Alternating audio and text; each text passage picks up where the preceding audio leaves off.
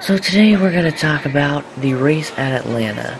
This is going to be my first race review, and it's basically going to give you my uh, opinion, how the race was, what big incidents happened from the race at Atlanta here. So not much happened in the first two stages of the race.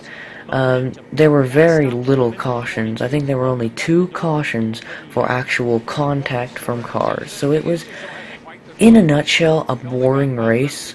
I know the new aero package and all that was in there, and I'm not as familiar with that. But Aric Almirola started on the pole and uh, led the first laps until the competition yellow, where he got a slow pit stop. Then for the rest of stage one, Kyle Larson uh, he dominated uh, the rest of stage one, and uh, he ended up winning that. And then comes stage two, Kevin Harvick comes in, um, and um, was uh, he had the lead for some time in stage two because he won the race off pit road. Uh, then Kyle Larson came back and took the lead back for a time in stage two, but then with around 13 laps to go, Kevin Harvick took the lead uh, away from Kyle Larson when Kyle Larson got really loose and started to fade in the closing laps of stage number two. Uh, Kevin Harvick ended up winning stage number two. And then you had stage number three, where uh, there was a little bit more action to it. Uh, Kyle Busch ended up blowing a tire, uh, didn't get up into the uh, wall when he blew the actual tire, but he did make contact with the wall that caused the tire to go down.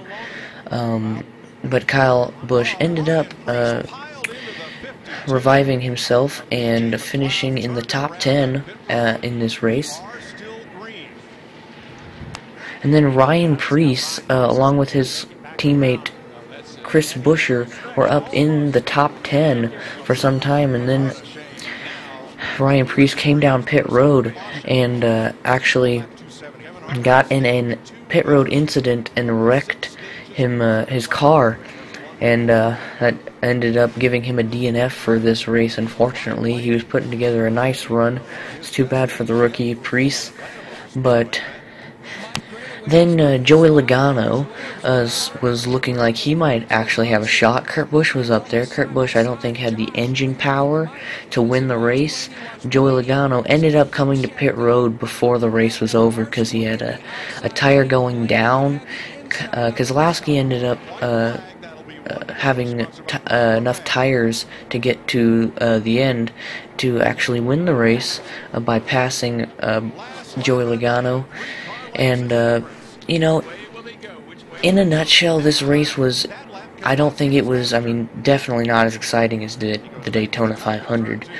This race was not very exciting, you know, it was, it was a good race in general, um, of, like, the ending, because, you know, the first two stages were kind of just Kyle Larson and Kevin Harvick dominating the majority of it, and then uh, you had some more drivers. You, you, know, you had you had more green flag pit stops. It was not. It, there were not many cautions.